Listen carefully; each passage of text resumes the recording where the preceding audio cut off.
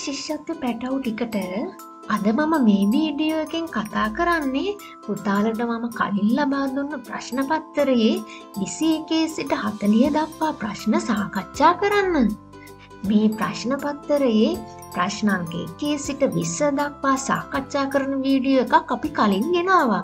පුතාල ඒක බැල්ුව නැත්නම් මේ අනිවාර්ය බලන්න ඒ වගේම තමයි පුතේ පුතාල මේ බලන්න අත්තෙන් නම් පහල ඩිස්ක්‍රපෂන් බොක්ස එකේ තියෙනවා පහවසර ශිෂ්ෂත්ත පේපර් එක කියලා අන්න ඒකට ගිහිල්ලා පුතාල ඒ පේපර් එක කරන්න ඕන ඉස්සෙල්නම්.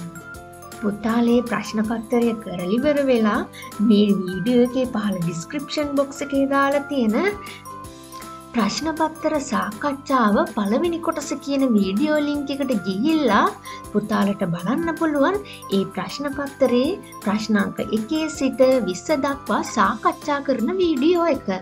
අපේ දෝල පුතාලා පාඩම් පියස YouTube නාලිකාව එක්ක සම්බන්ධනේ නැත්නම් මේ දැන්ම සම්බන්ධ වෙන්න. පහල තියෙන සබස්ක්‍රයිබ් බටන් එක ඔබලා බෙල් කියන එක ඕල් කරලා තියාගන්න. එතකොට මම දාන වීඩියෝ එකක් පුතාල ළඟටම පණවිඩයක් ලබාගන්න පුළුවන්. එහෙනම් පුතේ දැන් අපි යමු ඊළඟ ප්‍රශ්න ටික සාකච්ඡා කරන්න. පුතාල දැන් හොඳින් අහගෙන ඉන්නානේ. ප්‍රශ්නාංක 21. එක ළඟ මාස දෙකක දිනවල එකතුව හැට දෙකක් වන මාස දෙක වන්නේ මේකෙ තියෙන්නේ පුතේ මාස දෙක දිනවල එකතුව හැට දෙකක් කියලා. එහෙනම් එක මාසකට එන්න ඕනේ හැට දෙක දෙකෙන් බෙදූ විට එතකොට තිස්ස එකයි. එක මාසයක තිස්ස එකයි ඒ වගේම අනිත් මාසෙත් තිස්ස එකක් වෙන්න ඕනේ. එහෙනම් එකළඟ මාස දෙක තිස්ස එක තිස්ස එක දින තියෙන්නේ ජූලි සහ අගෝස්තු යන මාස දෙකව. ප්‍රශ්නංක විසි දෙක වඩාදික සෙවනැල්ලක් දැකිය හැකි වෙලාවක් වන්නේ මධ්‍යහන දොළහා එහෙම නැත්නම් දහවල් දොළහට අපේ සෙවනැල්ල පිහිටන්නේ අපේ පාදවලටම පෑගෙන අයුරින්. ඒ කියන්නේ කෙටිම කෙටි සෙවනැල්ලත් තමයි දක්නට ලැබෙන්නේ. පස්සුරු දෙක පමණ වෙනකොට මධ්‍යහන දොළහේ තිබූ සෙවනැල්ල තරමක් දුරට දික් වෙලා තමයි තියෙන්නේ. ඒ වගේමට හවස් වෙන්න හවස් වෙන්න මේ සෙවනැල්ල දික් වෙනවා. එහෙමනම් පුතේ මේ ප්‍රශ්නයට පිළිතුර තමයි දිගම සෙවනැල්ල දැකිය හැකි වෙලාව තමයි මේ අතරින් පස්වරු හතර. එහෙනම් පිළිතුර තුන පස්වරු හතර. ප්‍රශ්නාංක 23. ගුණසිරියගේ ලොකු පුතා සිරිපාලය. සිරිපාලගේ පුතා විමලදාසය. සිරිපාලගේ සහෝදරයා ජිනදාසය. ජිනදාස සහ විමලදාස අතර ඇති නෑකම පිළිවෙලින් දැක්වෙන පිළිතුර තෝරන්න. ගුණසිරීගේ ලොකු පුතා සිරිපාල. සිරිපාලගේ පුතා විමලදාස. සිරිපාලගේ සහෝදරයා ජිනදාස. සිරිපාල කියන්නේ පුතේ ගුණසිරීගේ ලොකු පුතානේ. එහෙමනම් සිරිපාලගේ සහෝදරයා වන ජිනදාස මල්ලි වෙන්න ඕනේ. ජිනදාස කියල කියන්නේ විමලදාසගේ බාප්පා. ඒ කියන්නේ තාත්තගේ මල්ලි. එහෙනම් මේ නෑකම තමයි බාප්පා සහ පුතා අතර නෑකම. එහෙනම් ප්‍රශ්නක්ක විසිතුනට පිළිතුර තමයි දෙක. බාප්පා සහ පුතා අතර තියෙන නෑකම. ප්‍රශ්නංක විසි හතර. මුල්ලිලක්කම පන්සීතිස් සතරෙහි ඇත තුන්සිය තිස් අතරෙහි නැත. දෙවැනි ඉලක්කම හත්සී විසි අටෙහි ඇත අටසිය හැත්තෑවේ නැත. තුන්වෙනි ඉලක්කම නමසියදාසයෙහි ඇත නමසය දාහතරෙහි නැත. අදාළ ඉලක්කම් තුන කුමක්ද මුල්ලිලක්කමේ පන්සිය තිස් අතරේ එක ඉලක්කමක් තියෙන කියල තමයි කියන්නේ. ඒ වුනාට තුන්සේ හතලිය කියන සංඛ්‍යාවේ නෑ කියල තමයි කියන්නේ. එහෙමනත් තුන සහ හතර කියන සංඛ්‍යා දෙක නෑ කියනව නම් පන්සිය තිස් අතරේ තුන හා හතර පළවෙනි ඉලක්කම නෙවේ. එහෙනම් පළවෙනි ඉලක්කම තමයි පහ. ඒ වගේම දෙවැනි ඉලක්කමේ හත්සිය විසි අටෙහි ඇත. අටසිය හැත්තෑවේ නැත. එහෙම නම් අටසා හත කියන ඉලක්කම් දෙක දෙවැනි ඉලක්කමේ නැහැ. එහෙමනම් හත්සිය විසි අටේ කියනකොට අට සහ හත ඉලක්කම නැති වෙනකොට ඉතුරු වෙන්නේ දෙක. එහෙම නම් දෙවැනි ඉලක්කම දෙක තුන්වැනි ඉලක්කම නමසය දහසයෙහි ඇත නමසයදා හතරෙහි නැත. තුන්වැනි ඉලක්කම නමසයදා හතරෙහි නෑ කියල කියන්නේ නමය එක සහ හතර යන ඉලක්කම් තුන්වැනි ඉලක්කමේ නෑලු. එහෙමනම් පුතේ නමසයදාසේ කියන සංඛ්‍යාවේ නමය ගන්නත් බෑ එක ගන්නත් බෑ.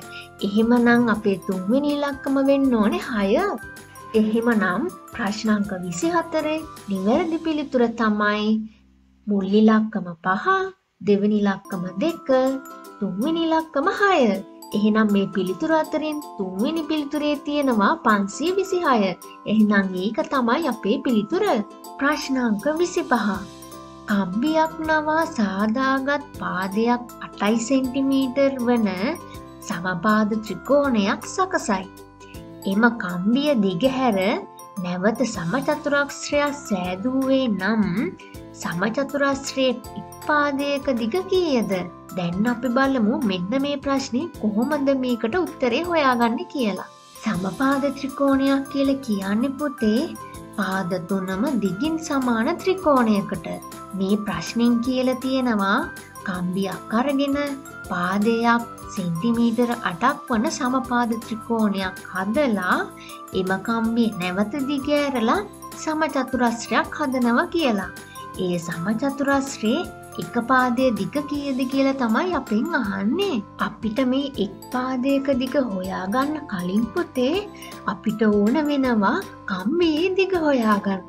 අපිට මේ කම්බියේ දිග හොයාගන්න පුළුවන් පොතේ මෙන්න මේ ත්‍රිකෝණයේ පාද තුනේම දිග එකතු කලාම. එහෙමනම් කම්බියේ දිග තමයි සෙන්ටිමීටර අටේවා තුනක් එකතු වෙලා සෙන්ටිමීටර විසි හතර එනවා. එහෙමනම් කම්බියේ දිග සෙන්ටිමීටර විසි හතරයි. ඊට පස්සේ මෙන්න මේ ත්‍රිකෝණය දිගෑරලා සමචතුරස්ත්‍රයක් හදනවලු. සමචතුරස්ත්‍රයේ පාද හතරම දිගින් සමානයින පුතේ. එහෙමනම් දැන් අපෙන් අහල තියෙනවා සමචතුරස්ත්‍රයේ ඉක්පාදයක දිග කියද කියලා. එක් පාදයක දිග හොයාගන්න පුළුවන් කම්බියේ දිග හතරෙන් බෙදුවම අපිට ලැබෙනවා එක් පාදයක දිග කීයද කියලා. එහෙමනම් සමචතුරස්ත්‍රයේ එක් පාදයක දිග තමයි සෙන්ටිමීටර විසි හතර බෙදීම හතර සමානයි සෙන්ටිමීටර හයයි. ප්‍රශ්නංක විසිහය. ඔත්තේ සංඛ්‍යාවක් හා ඉරට්ටේ සංඛ්‍යාවක් එකතු කළ විට ලැබෙන්නේ දැන් අපි බලමු පුතේ ඔත්තේ සංඛ්‍යාවක් විදියට එක ඉලක්කමත් ඉරට්ටේ සංඛ්‍යාව විදියට දෙකේ ඉලක්කමත් අරගෙන ඒ දෙක එකතු කරාම ලැබෙන්නේ මොකක්ද කියලා. එක සහ දෙක එකතු කලාම තුනයි. තුන කියල කියන්නේ පුතේ ඔත්තේ සංඛ්‍යාවක්. එහෙමනම් ඔත්තේ සංඛ්‍යාවක් හා ඉරට්ටේ සංඛ්‍යාවක් එකතු කරාම ලැබෙන්නේ පිළිතුර එක ඔත්තේ සංඛ්‍යාවක් ප්‍රශ්නංක විසිහත සංඛ්‍යා දෙකක පරතරය දෙකකි. එකතුව දහයකි. මෙම සංඛ්‍යා දෙක වන්නේ මෙන්න මේ ප්‍රශ්නයේදී අපිට කියල තියෙනවා සංඛ්‍යා දෙක අතර පරතරය දෙක වගේම එකතුව දහයයි කියලා. දැන් අපි බලමු මේ පිළිතුර තුන අතරින් පළවෙනි පිළිතුරේ පහ සහ පහ කියනකොට එකතුව නම් දහයයි. හැබැයි පරතරය නම් දෙකනෙමි බින්දුවයි. දැන් අපි අමුකු දෙවැනි පිළිතුරට. දෙවැනි පිළිතුරේ හය සහ හතර. හය සහ හතර එකතු කරාම දහයයි. අන්න එහෙමනං එකතුව දහයයි. පරතරය දෙකද කියල බලමු. හයෙන් හතරක් අඩු කලාම දෙකයි. එහෙනම් පිළිතුර දෙක. ප්‍රශ්නංක විසියට.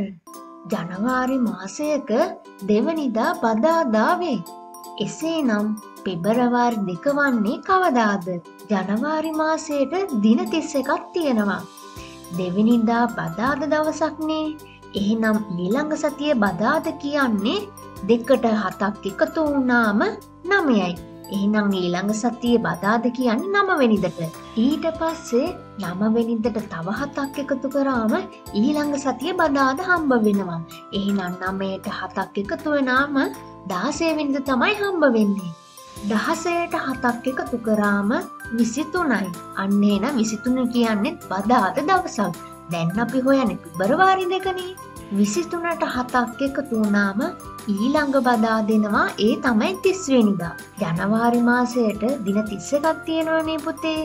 එහෙම නම් තිස්වෙනිද කියල කිය අපි හොයා ගත්ත බදාද දවසක්. එහෙනම් තිස්ස එක කියන්නේ බ්‍රහස්පතින්දා. ඊට පස පළවෙනි දෙනවා පළවිනිද කියන්නේ සිකුරාදා. එහෙනම් දෙවනිද කියන්නේ සෙනසුරාදා දිනයක්. එහෙනම් පිළිතුර දෙක සෙනසුරාදා. ප්‍රශ්නංක විසි නමය රුවන් පස්වරු පහට පමණ නගරයට යන විට ඔහුගේ සෙවනැල්ල ඔහු පිටුපසින් වැටී තිබුණි. ඒ අනුව ඔහු ගමන් කළේ කුමන දිශාවටද මේ ඉන්න පුතේ රුවන්.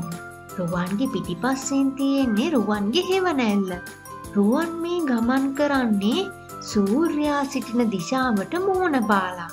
එහෙම නම්පුතේ සූර්යාට මුහුණ පාලා ගමන් කරනකොට අපේ සෙවනැල්ල පිහිටන්නේ අපේ පිටු පසින්.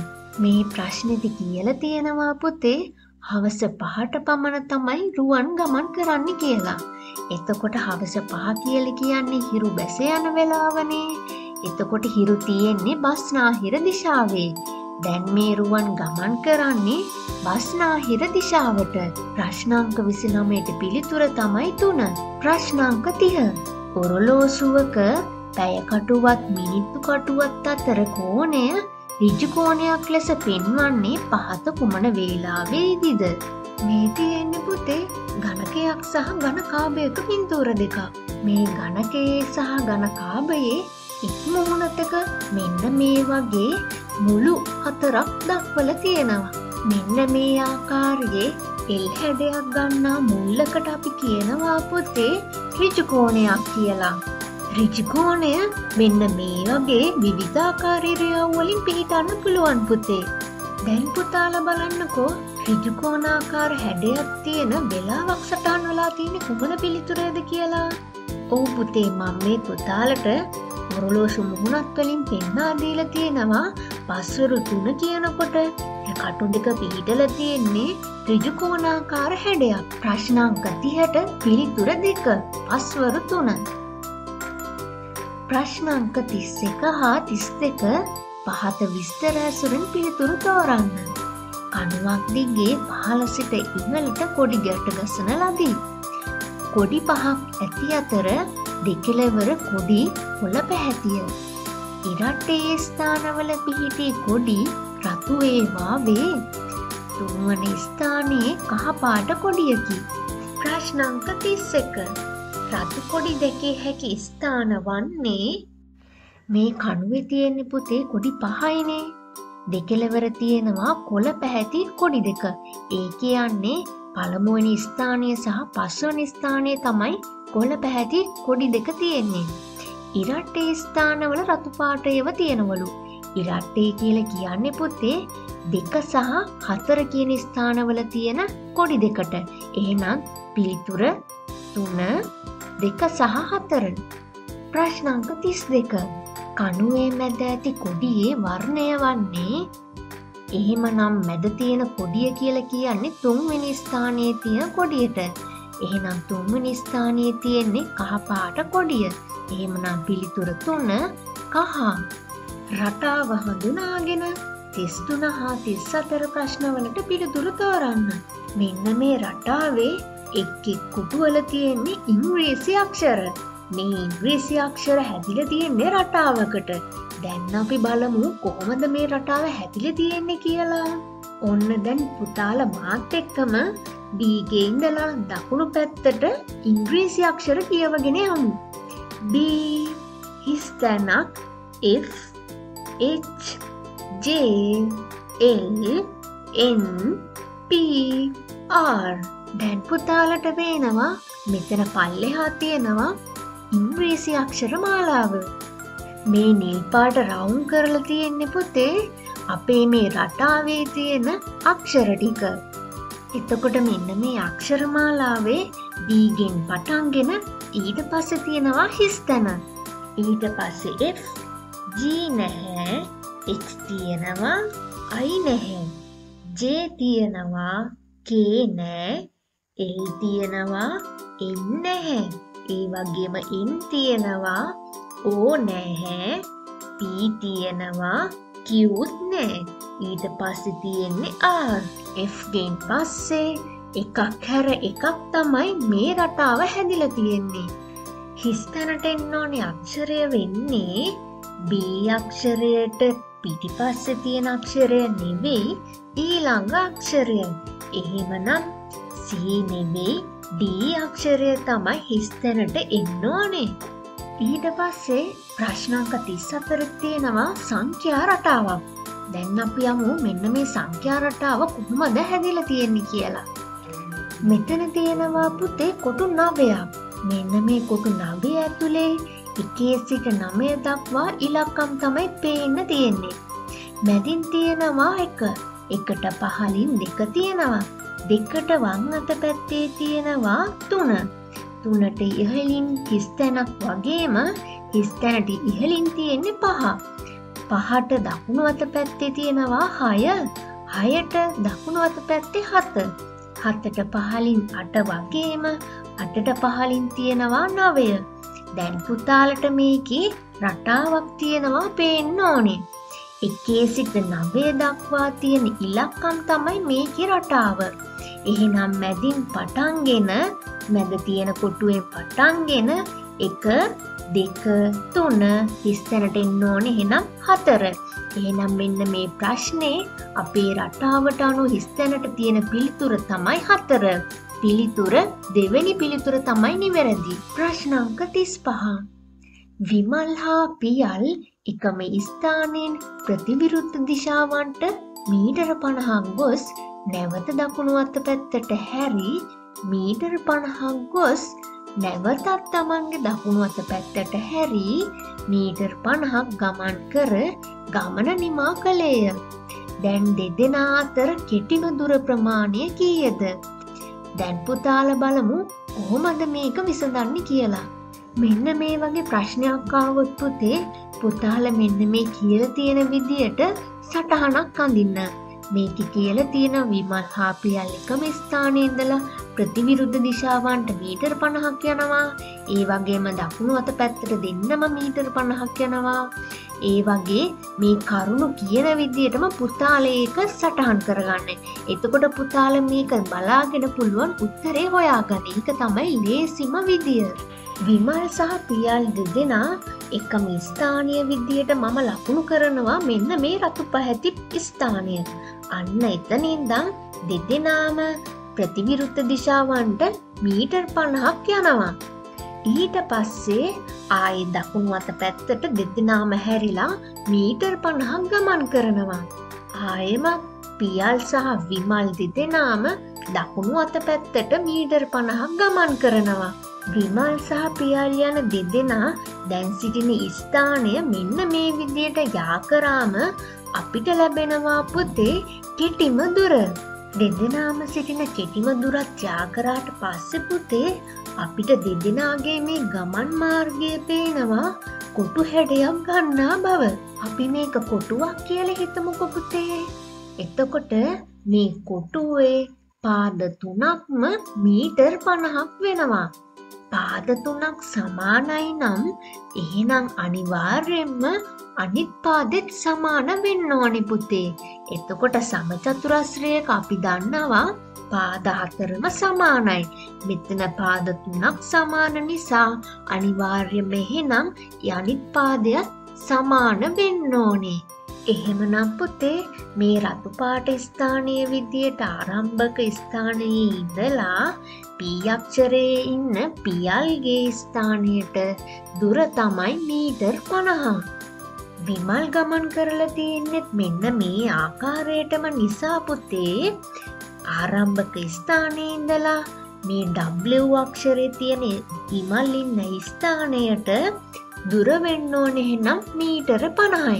එහෙමනම් පුතේ පියල් සහ විමල් යන දෙදෙනාතර කෙටිම දුර තමයි මීටර් පණහා එකතු කිරීම මීටර් පණහා සමානයි මීටර සීයයි. ප්‍රශ්නංක තිස්පාට නිවැරදි පිළිතුර දෙක මීටර් සියයයි. ප්‍රශ්නංක තිස්සය පහත සංඛ්‍යාවල රටාවක් ඇතිවීම සඳහා ඉවත් කළ යුතු සංඛ්‍යාව කුමක්ද. තිස් දෙක තිහ විසියට විසිහතර විස්ස දහසය. මේ සංඛ්‍යා රටාවේ එකළඟ සංඛ්‍යා දෙකක් අතර ඇති වෙනස අපි දැන් හොයල බලමු.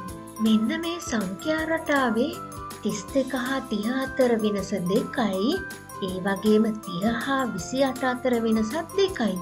අනිත් සෑම සංඛ්‍යා අතරම වෙනස තමයි හතරයි. ඒ නම් පොතේ අපිට මේ වෙනස හතර කියල ගන්න පුළුවන් විසි අට සහ තිස් දෙක අතර වෙනස විදියට එතකොට තිස් දෙකෙන් විසි අටක් අඩුනාම හතරයි. එහෙනම් තිහ මෙතනින් අයින් කොළොත් අපිට පුළුවන් පොදුවන්තරය හතර වූ සංඛ්‍යාරටාවක් හදාගන්න. ප්‍රශ්නංක තිස්සායට නිවැරදි පිළිතුර තමයි තුන්න තිහ. ප්‍රශ්නංක තිස් හත අනූ හතරදහස් විසි එක යන සංඛ්‍යාවේ ඇති ඉලක්කම් අගසිට මුලට ලියූ විට ලැබෙන්නේ දැන්පුතාලට පේනවා අනූ හතර දහස් විසියක සංඛ්‍යාත්මකව ලියල තියෙන ආකාරය. අපින් අහල තියෙන පුතේ අනූ හතර දහස් විසියක කියන සංඛ්‍යාවේ ඉලක්කම් අංක සිට මුලට ලියූ විට ලැබෙන උත්තරේ. එහෙමනම් පිළිතුර තමයි තුන්න. ප්‍රශ්නංක තිස් සටේ පුතාලට මෙන්න මේ වගේ ප්‍රශ්නයක් තමයි මල් ලබාදීල තිබ්බේ.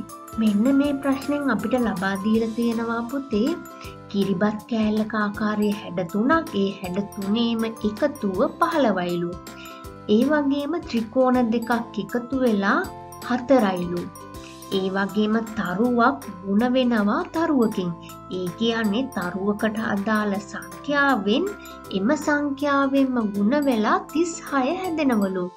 අපි ප්‍රශ්න විදිියල අහල තියෙන්නේ කිරිබත් කෑලේ හැඩයක් ත්‍රිකෝණයක් ඒ වගේම තරුවේ හැඩයක් එකතු වෙලා මුළු එකතුව කියදිකල් තම මේ ප්‍රශ්නයෙන් අපෙන් අහල තියෙන්නේ. එහෙමනම් පොතේ අපිට දැන් හොයන්න සිද්ධ වෙනවා මේ එක් එක් හැඩයන්ට අදාළ සංඛ්‍යාව කීයද කියලා. පළමුුවෙන්ම තියෙනවා කිරිබත් හැඩේ තියෙන හැඩ තුනක් අන්නේ හැඩ තුනම එකතුවලා හැදෙනවලු පහළව.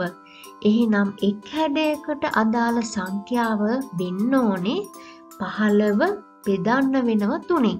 එතකොට අපිට හම්බ වෙනවා කිරිබත් කෑල්ලක හැඩයකට අදාළ සංඛ්‍යාව. එහෙමනම් පහළව තුනෙන් බෙදවාම පහයි. එහෙනම් කිරිබත් එක කෑල්ලක හැඩය පහයි. ත්‍රිකෝණ දෙකක් එකතු වෙලා හැදෙනවලු හතර.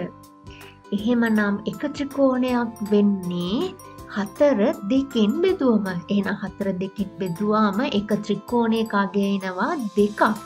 මීළඟට තියෙනව පුතේ තරුවක් තරුවකින් ගුණ වෙලා තිස් අය හැදෙනවලු. ඒ කියන්නේ සමානගයන් දෙකක් ගුණ වෙලා තමයි තිස් අය හැදෙනව කියලා කියන්නේ. එහෙම නම් තිස්සා අය හැදෙන සමානගයන් දෙකක් ගුණ වෙලා හැදෙන සංඛ්‍යාව අපි හොයා ගන්න වෙනවා. හය ගුණ කිරීම හයෙන් අපිට ලැබෙනවා තිස් අය. එහෙමනම් පුතේ මෙන්න මේ එක සමාන සංඛ්‍යා දෙකක් නිසා තරුවකාග්‍යය වෙන්නේ හයයි. එහෙමනම් පුතේ මේ කිරිබත් කෑල්ල හැඩයයි ත්‍රිකෝණ හැඩයයි තරුවේ හැඩයයි මේ තුනම එකතු වෙලා කීය දැහැදින්න කියල තමයි අපෙන් අහල තියෙන්නේ. එහෙමනම් දැන් අපි දන්නවා කිරිබත් කෑල්ල හැඩය කියන්නේ පහයි. ත්‍රිකෝණ හැඩය කියන්නේ හතයි. තරුව කියන්නේ හයයි.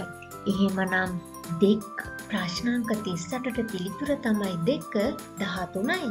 මීළඟට තියෙනවා පහත ඇති සටහනට අනුව තිස්නමය හා හතලිය ප්‍රශ්න සඳහා පිළිතුරු තෝරන්න. ප්‍රශ්නාංක තිස්නමය ඒ අක්ෂරයෙන් දැකිය හැකි සතෙක් වන්නේ ඒ අක්ෂරය කියල කියන්නේ ජලයේ වෙසන සතුන් පමණක් කියන අදහස් තම මෙතනින් කියන්න පුතේ. එහෙමනම් ඒ අක්ෂරයෙන් දැකේ හයිති සතෙක් වන්නේ තල්මසා පිළිතුර දෙක ප්‍රශ්නංක හතලිහ.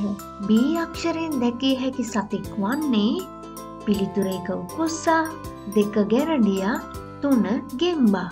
බී අක්ෂරය කියල කියනකොට පුතේ ඒට අදාළ වෘත්තය කොටසකනුත් අයිති වෙනවා සීට අදාළ වෘතය කොටසකුත් අයිති වෙනවා. පී කියන්නේ ඒ සහ සී කියන දෙකම මිශ්‍ර වූ කොටසක්. එහෙමනම් බී කියල කියන්නේ ජලය වෙසෙන සතෙක් වගේම ගොඩබිමෙහි වෙසෙන සතෙක්. එහෙමනම් අපි කියනවා ජලයේ සහ ගොඩබිමේ දෙකම වාසය කරන සතුන්ට උබය ජීවීන් කියලා. එහෙනම් මේ හතලිස්වනි ප්‍රශ්නයේ උකුස්ස කියල කියන්නේ ගොඩබිම වාසය කරන සතෙක්නේ ඒ වගේම ගැරඩිය කියන ගොඩබිම වාසය කරන සතෙක්. එහෙම නම් ගෙම්බ කියල කියන්නේ ජලයේ වගේම ගොඩබිමේ වාසය කරන උබය ජීවී. එහෙමනම් හතලිස්වනි ප්‍රශ්නය පිළිතුර තමයි පුතේ තුන්න ගෙම්බා.